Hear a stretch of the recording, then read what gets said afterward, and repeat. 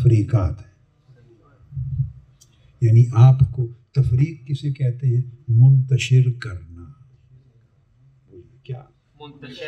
फ़र्क फ़र्क करना। जुदा जुदा का इसको इधर कर दिया उधर कर दिया उधर कर दिया उधर कर दिया इधर कर दिया। मुंतशिर होना तफरीक है। और मैंने एक दूसरा फार्मूला बयान किया ज़रब या तकसीम। अब इन दोनों फार्मूलाज को जोड़ें।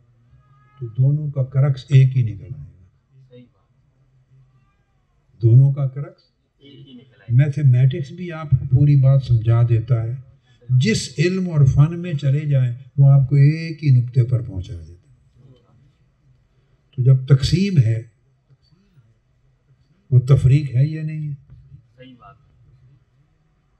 तकसीम से कम होते हैं। तकसीम से कम होते हैं। और तकसीम से जैसे कम होते हैं तो तफरीक से भी कम होते हैं और कमज़ोर पड़ते हैं। तो जिस बंदे का जहन तफरीक में हो, हर वक्त कभी ये सोचे, कभी ये सोचे, कभी वो सोचे, कभी ये करूँ, कभी ये करूँ, कभी रिश्तेदारों की ज़्यादती याद आ गई।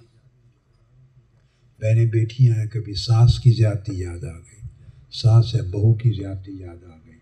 भाई है, भाइयों की ज़्यादती याद आ गई, रिश्तेदारों की ज़्यादती याद आ गई कुलीग्स की, फला फला। तो आप जब ये सोचते रहते हैं तो आप पूरी ज़िंदगी तफरीक होते रहते हैं और तकसीम होते हैं।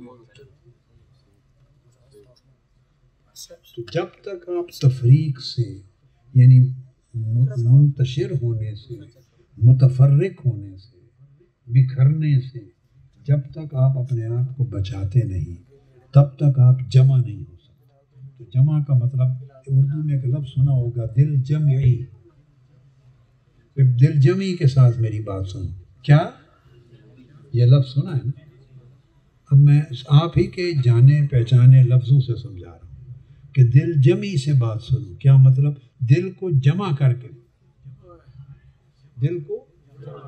तो दिल कई टुकड़े टुकड़े मुंतशिर हुआ होता है। जमा किस तरह करना? आप बात को समझे? जमा इसलिए करना कि उसके सारे ध्यान मुतफरक मुंतशिर ध्यान ख़त्म करके यकसू कर दे, यकसू।